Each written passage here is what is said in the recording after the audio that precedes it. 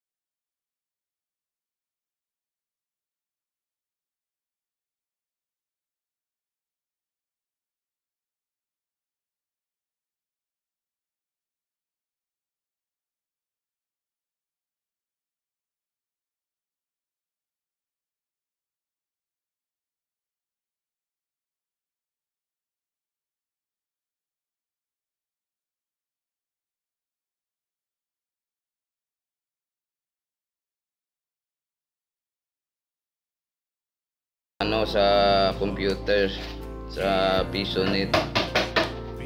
So, nandito kami ngayon sa ano sa Davao. Wala po dito, hindi ko po alam dito na may computer net.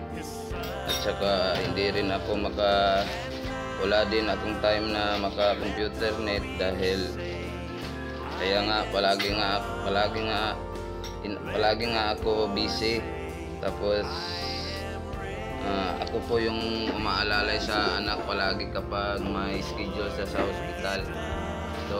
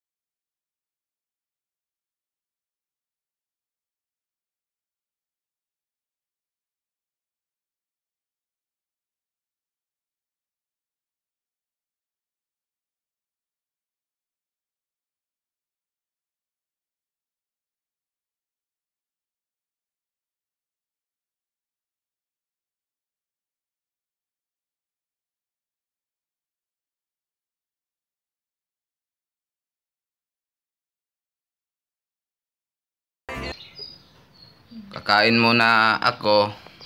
So, hanggang dito na lang ako mga katuba adventure. Maraming salamat po sa inyong lahat mga katuba adventure.